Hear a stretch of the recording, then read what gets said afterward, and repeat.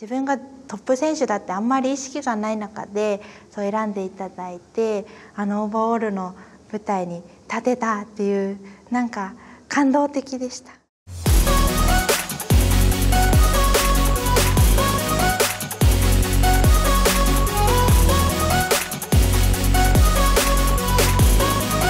太田涼香と申します。えっ、ー、と IFBB ビキニプロを目指して頑張ってます。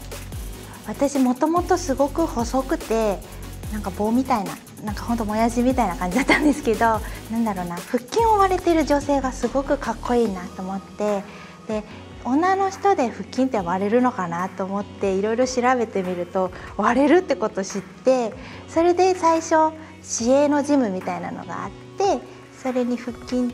と有酸素だけしに行ってって感じなのがスタートでした。アスリートモデルっていうのから最初出させていただいて大学の4年生だったんですけどそこから競技歴っていうのがスタートしました。きっかけは本当に何だろうジムにそのエニタイムに入ったんですけど最初エニタイムフィットネスさんに入らせてもらって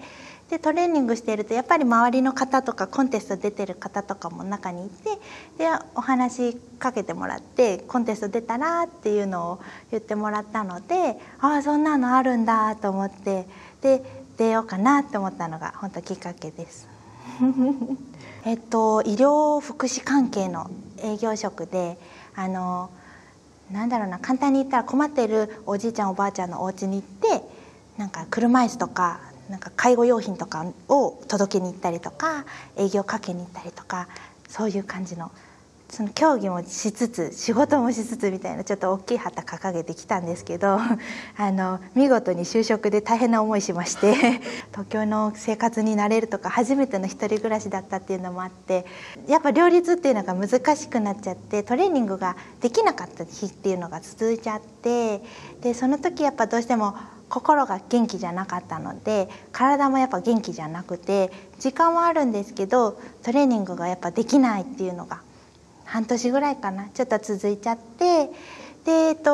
2020年ぐらいの1月にこっちに来たこっちのジムに入ったんですよ。それで入ってから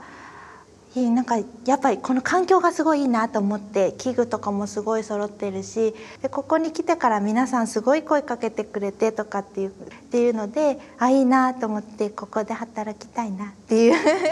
のがやっぱ芽生えちゃってって感じですね転職しました自分がトップ選手だってあんまり意識がない中でそう選んでいただいてあのオーバーオールの舞台に立てたっていうなんか感動的でした。みんなすごい。すごいな。すごいコンディション。誰が勝つかな。立ち方もみんな綺麗だね。うん、コンディションは全員いいね。全員。うん、本当にもうこうなったら細かいところをね。そうだよね。やっぱり全部かな差が出てくるのは。そうですね。みんなちょっとそれぞれ違うよね。そう。うんビキニオーバーオールチャンピオンオーバーオールチャンピオンは誰か？エントリーナンバ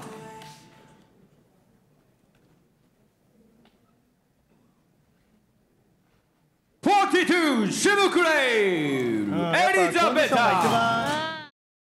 あんまり今でもあ夢なのかなって思う時はありますね。なのでエリちゃんの隣に並べたことすごい嬉しかったですね。すごいなって思いますね。その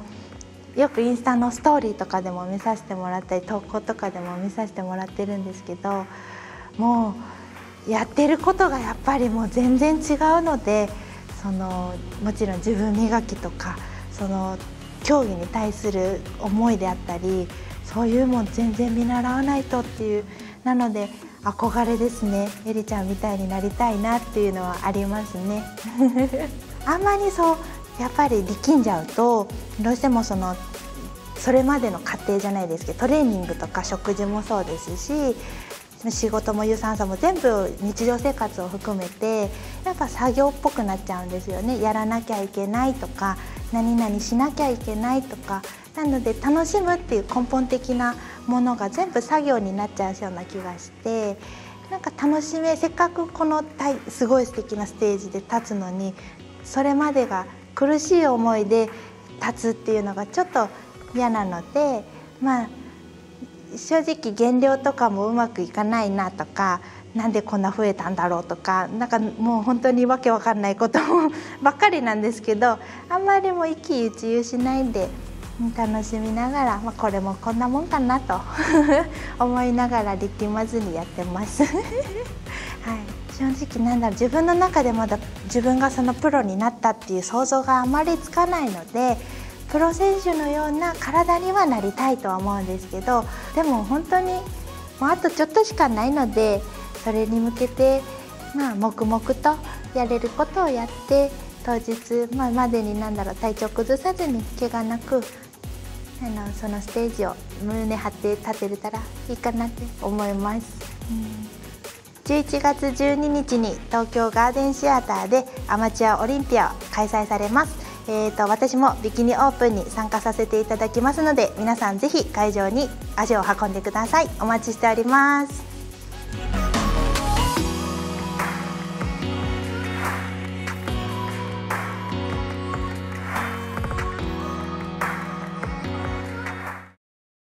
さあ皆さんいよいよ2022年オリンピアマチュアジャパンそしてジャパンプロなんとライブ配信が決定しました。FWJ のホームページより注目の一戦。ライブ配信要チェック。